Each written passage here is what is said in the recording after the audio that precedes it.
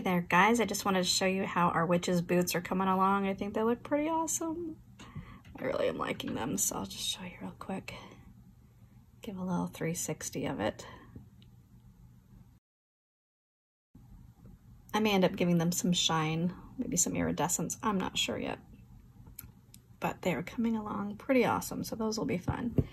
And then we've got the hands. The first one's done. The second one is almost completely done too. We've got some cool veins in there that I made by actually using some of that purpley clay from our from our boots. I just added a touch of it and I made the veins look like that cool color. I'll do some coarse adjustment with the coloring and blushing that I do later and I'll probably give her some full-on fingernails too but that's how it's coming along so far for a pretty witchy lady. So if you haven't had a chance to take a look at the workshop for witches, join us if you need any help getting motivated and staying motivated for getting witches done for our Halloween decorating.